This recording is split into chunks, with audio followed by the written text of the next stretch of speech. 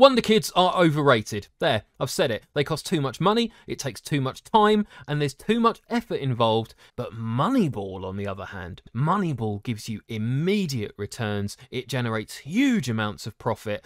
So today, I'm going to show you exactly how to do it.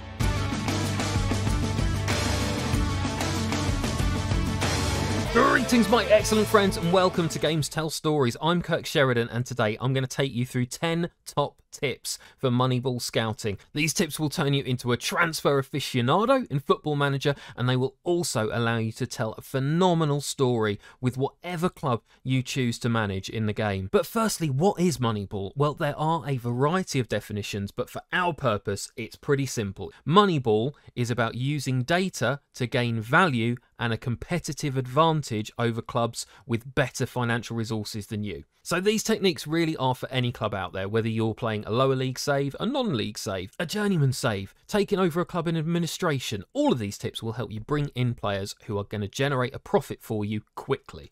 The first tip is incredibly simple. Always be scouting for replacements to your current team. When applying Moneyball techniques, you are aiming to sell your players for a profit, and that means you could lose anyone at any time. You have to make sure you've got the next player lined up. So, an ongoing recruitment focus is absolutely essential. Don't limit yourself to a certain range, make sure you're casting the net as wide as you possibly can, and crucially, don't waste time and effort looking for loanees. Remember, this is Moneyball, you're seeking to make a profit, so don't waste time developing another club's assets. And remember, we are looking for replacements. Any position from your current tactic is what you're looking for. Tip two, look for players aged 20 to 25. You need players who've proven themselves but not yet peaked so that you can sell them for a profit in the not too distant future. This is an incredibly easy thing to do with all of your recruitment focuses and you can see I've got it set up on all of mine. Simply select the age between 20 and 25. Doesn't matter where you're looking, doesn't matter what position you're looking for, stick with that rule and you can't go wrong. And tip three, make sure you're prioritizing players who are ready to step into your first team straight away. If you're spending good money on someone, you want them stepping into your first team immediately. So after you've built up a bank of knowledge, go to the scouted players screen, and I recommend applying this kind of filter. Links are available in the description below, but essentially you can see where the player is currently based, their age when their contract expires, their current and potential ability, how old the scouting report is, whether they're likely to get a work permit, and whether they fit your club's DNA. So right now I'm playing through the January transfer window with Birmingham City, and I'm looking for a central defender to come in and replace one of my up and coming youngsters who is going to move to a Premier League team for a massive chunk of profit. Therefore, I'm looking for someone 20 to 25, play central defence who meets that club DNA, and these are the options I've got. But I'm not going to go by the recommendation from the scout, I'm going to go straight for current ability. And it's these players here who are jumping out as ready to step into a first team void. Now, quick aside, all of these tips that I'm sharing with you today, I've applied it to my save with Worthing and Birmingham over the last few seasons, where I'm playing not as manager, but as the director of football. If that sounds exciting, check out the Director of Moneyball series on the channel. It's a great watch. But when you've found some potentials, how do you decide who to add to your shortlist?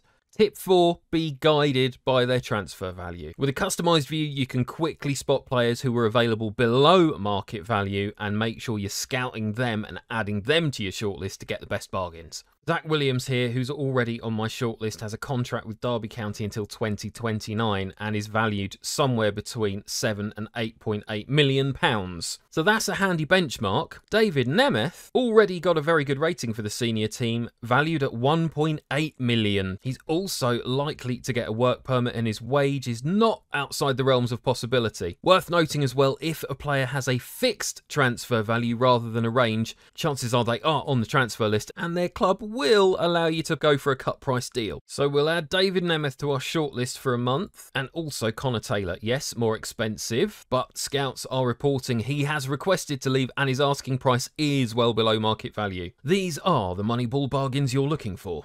Tip 5 Don't worry about the wages that new players are looking for because you're going to save money on transfer fees. You can find better quality players by simply adjusting your interested in filter. I always look for people who are unsure or better. If If anyone is unsure about joining you, they're going to want more money, obviously, but again, you're saving money on transfer fees. We're looking for absolute transfer bargains here. And considering my Birmingham team currently pay the second lowest wages in the Championship, I don't think this is a technique that's really going to break the bank. Tip six, it is always worth looking at players whose contracts are due to expire soon. Don't rush to bring in somebody now if you can get them for nothing in the summer, unless, of course, you can get them now for a significant discount. Simply select anyone whose contract is expiring in the search filter. For us, this is highlighted Mohamed Daramy, currently valued 190 to 4.2 million pounds, would be one of, if not the best forward at the club, and we've simply offered him a contract for when his current one expires. So that contract expiry filter, surefire way to find some major bargains. Tip 7, make sure you stay up to date. Keep those scouting reports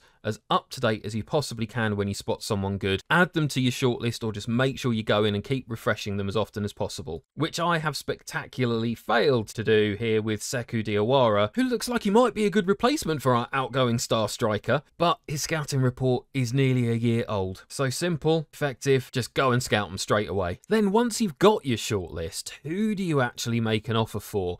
Tip 8 once you've narrowed your focus down to a few players you really want to look at further, follow the data. Prioritize people who've played a lot of matches, make sure that they've got evidence of a high performance level. Don't waste time with untried youngsters, it's just too risky. Here's my central defensive shortlist that I built up earlier. David Nemeth and Connor Taylor jumping out as the two strongest options. So I'll compare the two. David Nemeth, significantly lower wage demand, significantly lower fee, not played anywhere near as much football this season. However, Nemeth has three years playing regular first team football in Germany. Connor Taylor, regular first team football in League One and the Championship. Connor Taylor, stronger mental attributes on average. David Nemeth, stronger physical attributes on average. That's two evenly matched players. Connor Taylor, more expensive, higher wages, evidence of higher performance. David Nemeth, cheaper, lower wages, and reliable. So if in doubt, always come back to how much profit you're going to make. For me, David Nemeth. My ninth tip for Moneyball scouting will get you a ton of value, and it's dead easy. Just scout lower reputation leagues. Poor reputation equals value. And you can see with this particular recruitment focus, I'm looking at League One, League Two, National League, and two lower league trophies as well. And on top of that, I'm going to add players with a high statistical performance in average rating, which comes back to following the data. And straight away, this is recommending me some potentially great first team prospects. And you can apply exactly the same technique to other countries. If I wanted to, I could add in the Spanish second division, maybe League Ligue 2 in France. And straight away there we're being recommended Steven Sessegnon. Bargains to be found in lower divisions all around the world. And my final Moneyball tip for you, my friends, is make sure you upgrade the weakest area of your team first. This will bring you in a much better financial return long term than bringing in a star player you don't need, and it will increase your performance faster.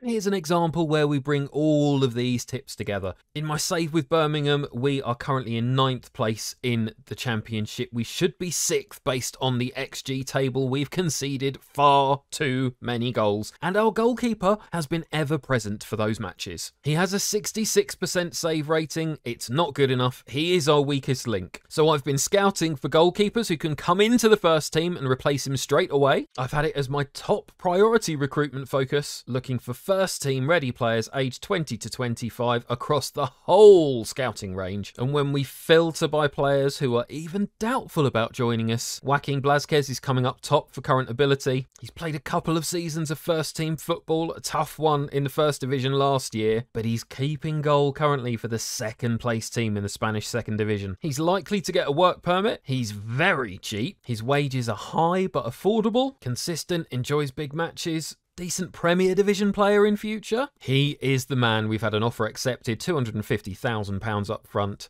and 53,000 after 50 matches in the league. That would be quite frankly an absolute bargain. And there you have it my friends. Those are 10 top tips for Moneyball scouting that you can apply to any club, any division, anywhere in the world and they can take you from £8.5 million overdrawn to nearly £30 million in the bank within the space of two years. That's what I've done at Birmingham. Follow these tips and you can do it too. Well, I hope you've enjoyed what you've watched today and I hope these tips serve you well. Please do drop a like on the video and let me know in the comments what you think of these tips. Are there any others that you would apply in this Moneyball context? Please do subscribe to the channel if you want to stick around and find out more great football manager storytelling content and be excellent to each other as always. I'm Kirk Sheridan. Thank you so much for watching, and I'll see you soon.